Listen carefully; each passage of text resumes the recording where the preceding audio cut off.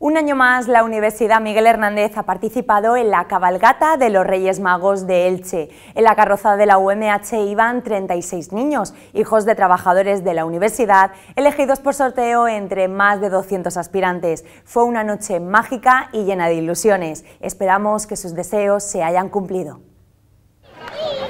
Desde por la mañana se sabía que era un día especial.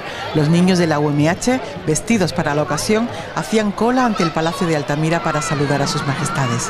Esta era la última oportunidad para entregar las cartas a los pajes reales y para que los magos se dieran por enterados. Por si acaso, algunos de ellos nos adelantaban el contenido de sus misivas.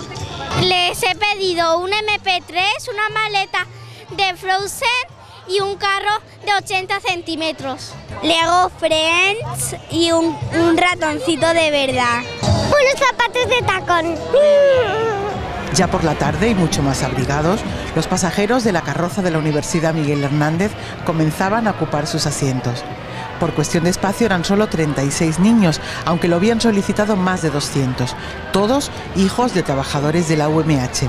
Luces encendidas, villancicos y caramelos al aire. La cabalgata ya estaba en marcha. Y como los reyes estaban cerca, aprovechamos para preguntar de nuevo a los niños qué pedían en sus cartas, por si antes no los habían escuchado.